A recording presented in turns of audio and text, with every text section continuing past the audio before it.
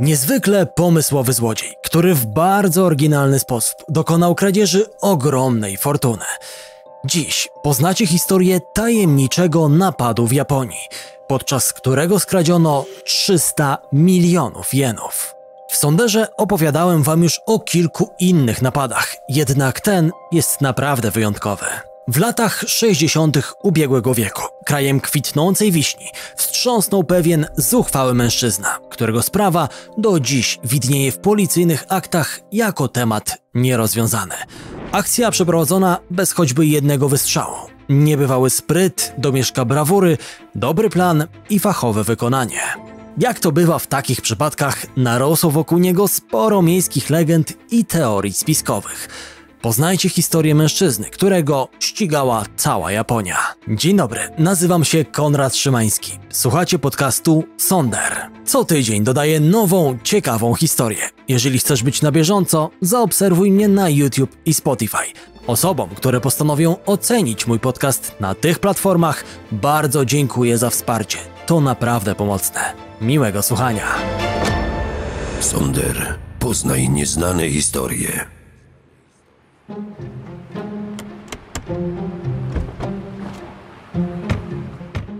10 grudnia 1968 roku, kwadrans po godzinie 9 rano.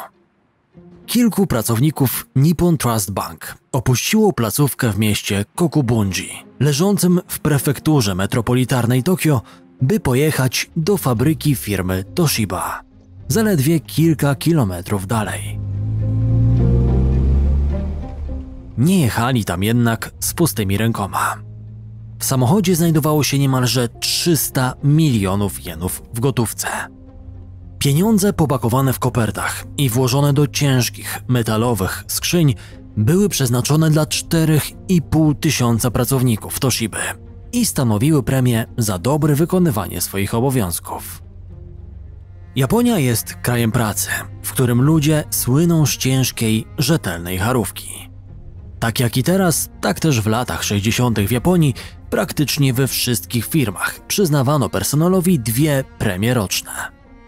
Jedna przypadała na okres czerwca, druga zaś na sam koniec roku. Prawie 300 milionów jenów premii, które zmierzały do firmy Nissanem Cedriciem, jak na tamte czasy bardzo luksusowym samochodem, dzisiaj są równowartością około 7 milionów dolarów.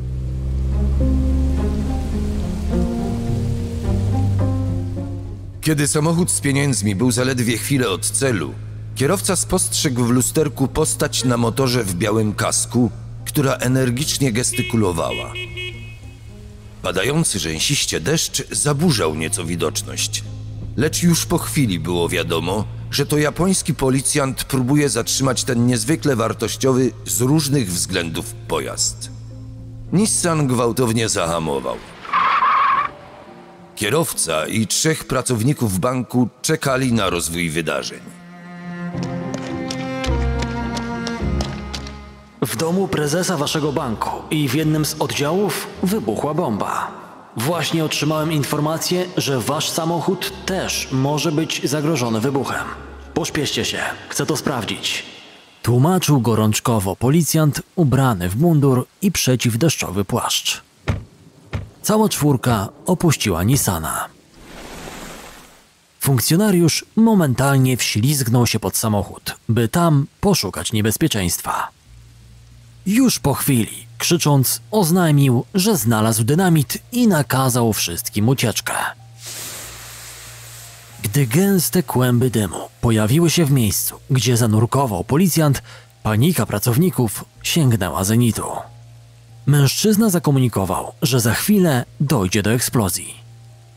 Uważnie obserwowali, jak w akcie bohaterstwa wsiada za kółko i odjeżdża jak najdalej od nich i ewentualnych przypadkowych ofiar.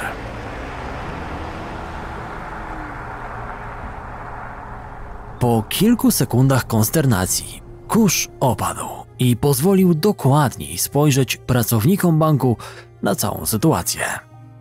Policjant wraz z autem zniknął z pola widzenia, ale nikt nie usłyszał wybuchu lub czegokolwiek, co sugerowałoby, że doszło do wielkiej eksplozji. Jeden z pracowników banku kątem oka zwrócił uwagę na motocykl, który pozostał na miejscu. Kiedy podszedł bliżej, zobaczył, że nie jest to typowy pojazd japońskiej policji, lecz dobrze udający go przemalowany jednoślad innego modelu. Ponadto dopiero po krótkiej chwili zauważono, że rzekoma bomba spod samochodu to tak naprawdę flara dymna. Wtedy do czterech pracowników Nippon Trust Banku dotarł porażający fakt. 300 milionów jenów padło łupem złodzieja przebranego za policjanta, który właśnie uciekł na ich oczach w siną dal.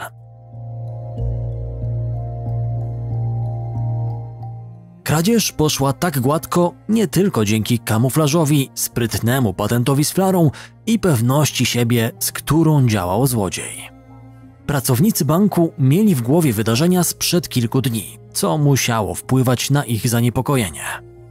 Otóż 6 grudnia, zaledwie cztery doby przed rabunkiem premii, kierownik oddziału banku Nippon Trust Bank otrzymał anonimowe pogróżki i żądanie przekazania 3 milionów jenów następnego dnia do godziny 17 w wyznaczonej lokalizacji. Ktoś w dosadnych słowach przestrzegał, że niespełnienie żądań spowoduje podłożenie bomby pod jego dom.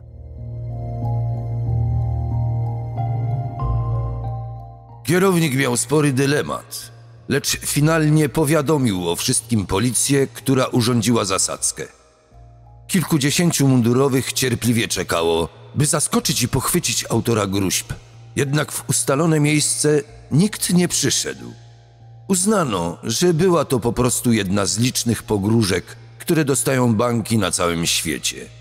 Wielu frustratów czy żartownisiów wysyła tego typu pisma, więc ostatecznie nie uznano tego za coś szczególnie niebezpiecznego.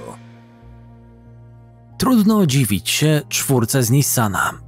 Dostając informację o bombie i mając w świadomości, że kilka dni temu kierownik ich banku otrzymywał pogróżki z motywem wysadzenia w powietrze, to strach, jaki ich sparaliżował, uznać wypada za rzecz absolutnie normalną.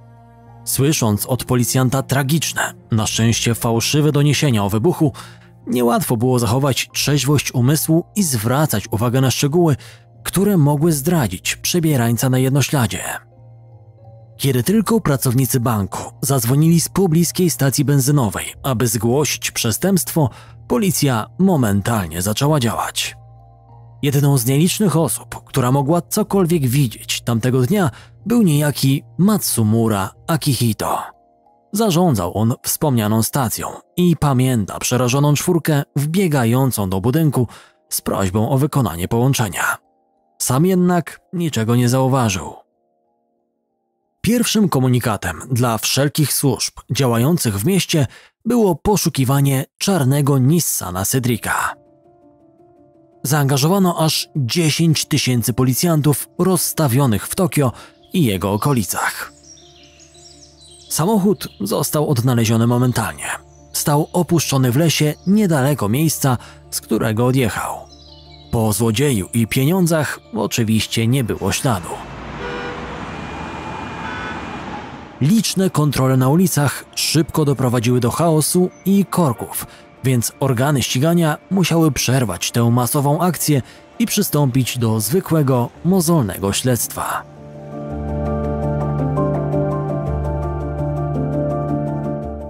Szalony czyn złodzieja na motocyklu wielu uznało za nie do końca zaplanowany i w pełni przemyślany, bowiem doszło do niego w biały dzień w miejscu publicznym.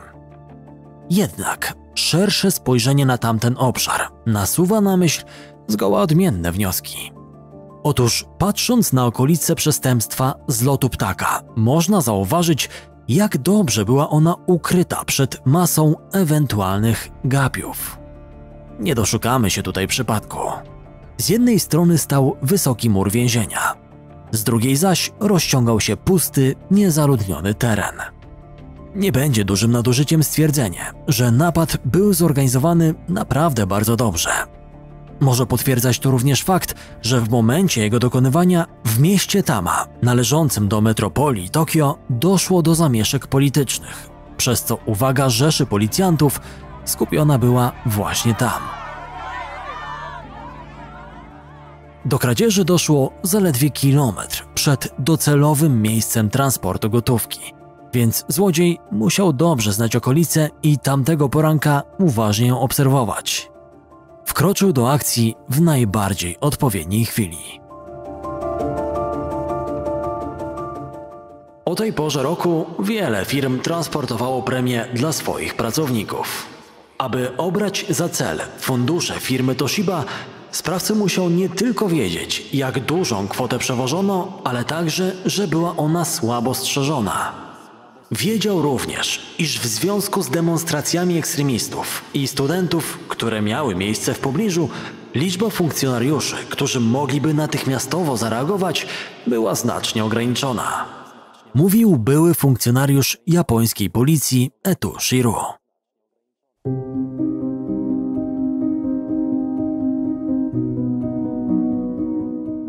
W trakcie śledztwa ustalono, że listy z pogróżkami do kierownika Nippon Trust Bank i kradzież 300 milionów jenów były ze sobą powiązane. W ręce funkcjonariuszy wpadło wiele dowodów i poszlak. Ich liczbę szacowano na ponad 100. Poza flarą czy choćby kapeluszem myśliwskim i skórzanym płaszczem należącym do złodzieja, najważniejszym dowodem rzeczowym był znakomicie udający policyjny pojazd motocykl marki Yamaha, zostawiony na środku ulicy. W tamtym czasie wszystkie policyjne motocykle produkowała Honda, więc wizualne przeróbki okazały się kluczowe. Sprawca dodał takie elementy jak megafon i czerwone migające światła, co w połączeniu z przemalowaniem pojazdu na pierwszy rzut oka robiło świetną, przekonującą robotę. Czterech pracowników banku zostało szybko przesłuchanych, lecz sporządzone portrety pamięciowe mówiły niewiele więcej niż to, że złodziej był młody i miał około 25 lat. Mimo wszystko była to jakaś wskazówka, ponieważ w latach 60. w Tokio i na jego obrzeżach postrach siał gang młodych japońskich bandziorów, którzy często jeździli właśnie na motocyklach. Dokonywali rozbojów na sklepach, używając do tego między innymi flar dymnych. To podobieństwo musiało wzbudzić pewne podejrzenia. W ten oto sposób wytypowano pierwszego podejrzanego. Jeden z członków gangu był synem byłego policjanta, więc potencjalnie mógł łatwo wejść w posiadanie munduru. Zaledwie 19-letni mężczyzna w przebiegu dochodzenia otrzymał przydomek chłopiec S. Od razu podjęto próbę schwytania podejrzanego. Znaleziono go bardzo szybko, choć tym razem nie z powodu sprawnej pracy policji, tylko tragicznego wydarzenia, do którego doszło pięć dni po napadzie. W mediach pojawiły się informacje o tym, że chłopiec S został znaleziony martwy. Sekcja zwłok miała wykazać, że przyczyną zgonu był cyjanek potasu. Oficjalna wersja mówiła o samobójstwie, jednak na opakowaniu po tej substancji nie znaleziono odcisków palców ofiary, a tylko te należące do ojca zmarłego. Używał on cyjanku potasu do zabijania szkodników w swoim ogrodzie. Za pomocą badań śliny śledczy chcieli ustalić, czy materiał zebrany ze znaczków pocztowych na listach z pogróżkami do kierownika banku będzie zgadzał się z tym pobranym od chłopca S. Zarówno to badanie, jak i badanie grafologiczne wykluczyły podobieństwa. Nie można było jednak z góry zakładać, że Denat nie miał powiązań z kimś, kto te listy pisał i naklejał na nich znaczki. Przypuszczalnie działał sam, ale równie dobrze mógł być tylko jednym z zamieszanych. A istniała przecież jeszcze opcja, że nie miał z tym nic wspólnego. Dokładna rewizja jego mieszkania nie przyniosła żadnych odpowiedzi. Nie znaleziono nic, co chociaż trochę mogłoby połączyć go z wydarzeniami z 10 grudnia.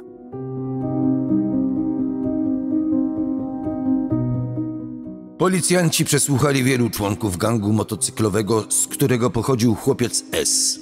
Lecz wszyscy zostali wypuszczeni w związku z brakiem jakichkolwiek poszlak łączących ich ze sprawą. Dochodzenie na moment stanęło w martwym punkcie, ponieważ sprawcą mógł być właściwie każdy młody Japończyk, i to nie tylko z okolic Tokio. Nie posiadano nic charakterystycznego, nic, co choćby trochę zawęziło zakres poszukiwań. Kiedy portret pamięciowy złodzieja trafił w ręce społeczeństwa, telefony na komisariatach dzwoniły non-stop. Sprawca przypominał właściwie każdego i jednocześnie nikogo, więc masowa histeria była zrozumiała. Hipoteza o odebraniu sobie życia przez chłopca S była podawana w wątpliwość. Warto zaznaczyć, że choć prawo w tym kraju uznaje coś takiego jak domniemanie niewinności, to w życiu społecznym samo podejrzenie o zabroniony czyn może przekreślić całe twoje życie. To, czy dziewiętnastolatek spanikował i w strachu przed nadciągającą sprawiedliwością postanowił targnąć się na swoje życie, dalej pozostaje jedynie przypuszczeniem. Sonder, poznaj nieznane historie. Kryminalne sprawy nie znoszą jednak próżni i zawsze, prędzej czy później, coś pojawia się na horyzoncie. Na motocyklu wkrótce znaleziono malutkie kawałki gazety, którymi złodziej najprawdopodobniej oklejał go podczas malowania. Ustalono, że gazeta to lokalne czasopismo o dużym nakładzie, więc ten trop nie pomógł policjantom zbliżyć się do prawdy, lecz dawał nadzieję na następne, przeoczone wcześniej wskazówki. Jednym z podejrzanych, wytypowanych przez media, był także pewien taksówkarz, do którego personaliów dziś trudno dotrzeć, bowiem z uwagi na pomyłkę policji jego dane zostały ocenzurowane. Przypominał osobę z portretu pamięciowego, a w dodatku prywatnie lubił jeździć na motocyklu.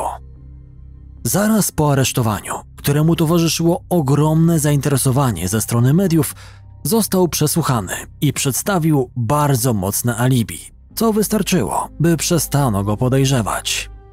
Jednak jego problemy miały dopiero nadejść.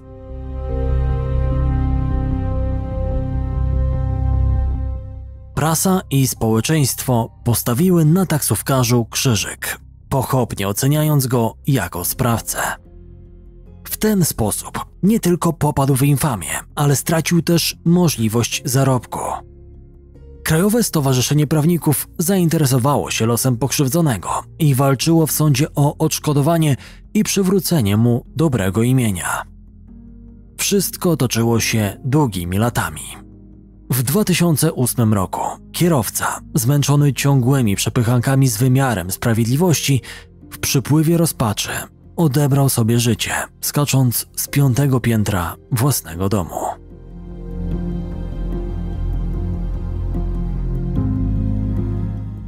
Prawdziwym przełomem było odnalezienie samochodu, którym po napadzie posługiwał się złodziej. Na jednym z osiedli leżących na obrzeżach Tokio ktoś zwrócił uwagę na zaparkowaną Toyotę, która od kilku miesięcy stoi przykryta czarną plandeką i nikt do niej nie zagląda. Po interwencji policji doszło do szokującego odkrycia. Na tylnych siedzeniach opuszczonej Toyoty Corolli leżały trzy metalowe skrzynki. Dokładnie te same, w których 10 grudnia poprzedniego roku przewożono 300 milionów jenów premii dla pracowników Toshiby.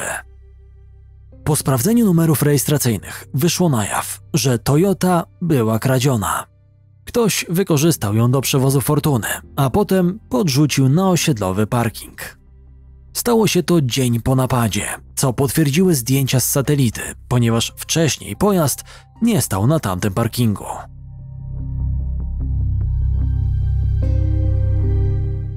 Po 10 miesiącach śledztwa w październiku 1969 roku zdeprymowana policja w Tokio i w okolicach rozkładała ręce z bezradności. Japońscy funkcjonariusze podjęli desperacki krok i zaprosili na konsultację pięciu pisarzy, byłych detektywów. Każdy z nich doskonale znał tematy szeroko pojętej kryminalistyki i każdy napisał książkę o takiej treści.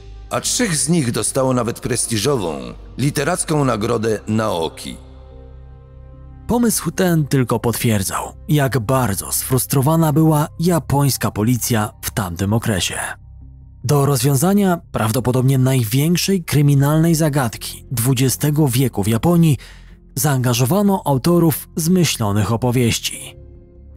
Jeden z piątki literatów, niejaki Miyoshi Toru, po 11 latach od przeprowadzenia napadu, wydał książkę na ten temat.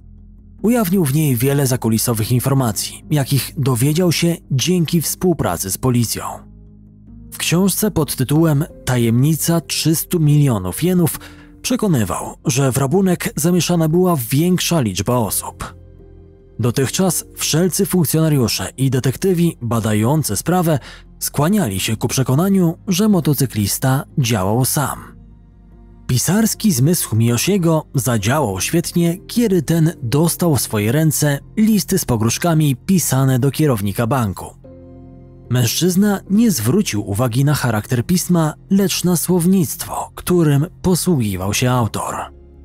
Używał on bowiem słów, których w swoim słowniku raczej nie posiadają ludzie bardzo młodzi. Toru oświadczył, że formy grzecznościowe zawarte w listach są charakterystyczne dla osób starszych. Przywołał stwierdzenia, które absolutnie nie pasowały dla młodego Japończyka w 68 roku. Był pewny, że pogróżki musiał pisać ktoś w zaawansowanym wieku. Lecz koniec końców te domysły nie posunęły sprawy naprzód. W ten oto sposób w 1975 roku, 7 lat po historycznym napadzie, sprawa uległa przedawnieniu.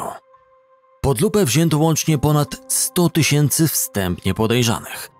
Według różnych źródeł zaangażowano od 110 do aż 170 tysięcy policjantów i rozesłano niemalże 800 tysięcy portretów pamięciowych po całej Japonii.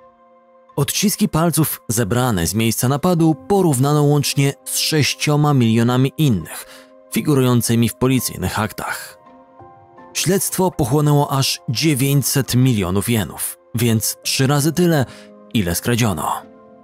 Te liczby tylko obrazują rozmiary tego legendarnego już przestępstwa. Zamknięcie dochodzenia było ogromną porażką dla wszystkich szukających prawdy. Oczywiście wielu mężczyzn przypisywało sobie dokonanie tego napadu. Takie zachowania nie są rzadkie w przypadku bezprawnego czynu, podczas którego nie odnaleziono sprawcy. Ludzie lubią zaznać choć pięciu minut sławy. Nieważne, czy sława ta jest pozytywna, czy stawia kogoś w roli oprycha.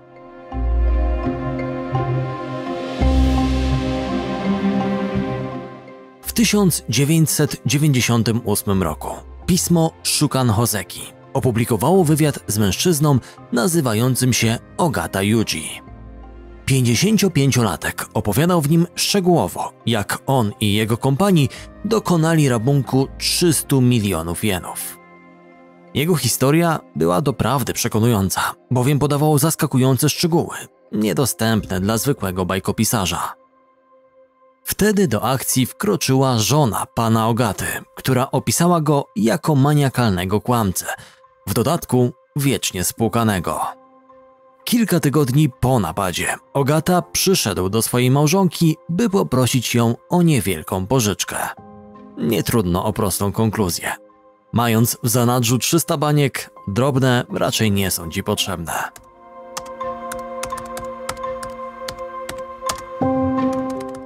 W 2018 roku na japońskiej stronie internetowej przeznaczonej dla pisarzy amatorów pewien internauta o pseudonimie Shirata zamieścił obszerny wpis pod tytułem Jestem sprawcą incydentu za 300 milionów jenów.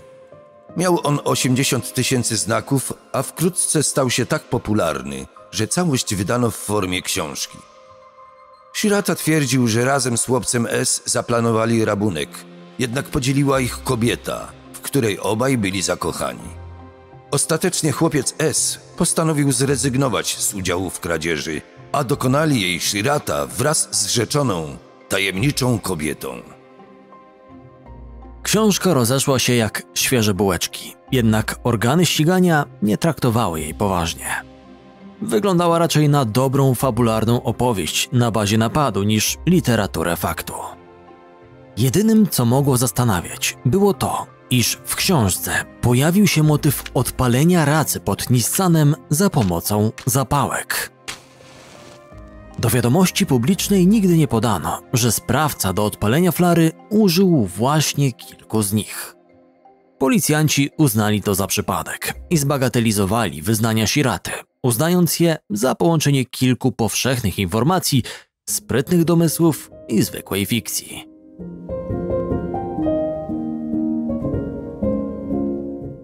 Czy kradzież 300 milionów jenów prosto z ulicy po latach dalej wygląda na przestępstwo doskonałe?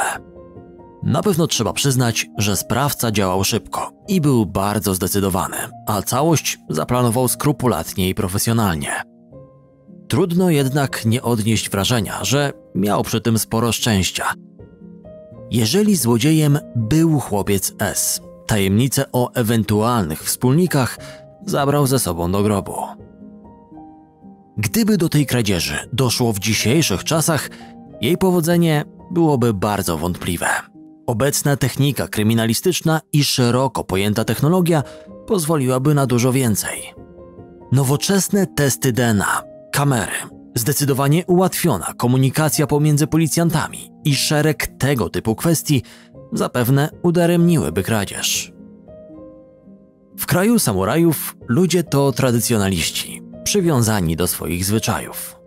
Tak samo było tam kilkadziesiąt lat temu z gotówką. Japończycy trudno znieśli komputeryzację i automatyzację banków, a właśnie do tego niewątpliwie przyczyniły się wydarzenia z 10 grudnia 1968 roku. Doszło do wielu zmian pod względem samych zabezpieczeń, by uniknąć w przyszłości podobnych, fatalnych w skutkach doświadczeń.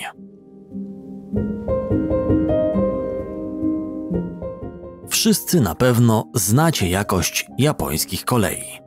Pociągi w tym kraju nie znają takiego terminu jak opóźnienie. A jeżeli już tak się zdarzy, to wynosi ono maksymalnie kilka bądź kilkanaście sekund. Przyjazd pociągu minutę po zaplanowanym czasie jest wręcz ewenementem i powodem do sprawdzenia przyczyny takiego stanu rzeczy. Dlaczego o tym wspominam? Żeby przypomnieć, jak niesamowicie rzetelnym i nowoczesnym krajem jest Japonia. Jest takim krajem teraz i była też w 1968 roku.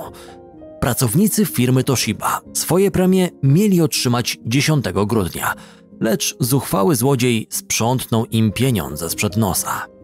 W związku z tym musieli na należną im gotówkę trochę poczekać. I tak jak pociągi w Japonii średnio spóźniają się o kilka sekund, tak premie w wysokości 300 milionów jenów nadeszły z jednodniowym opóźnieniem.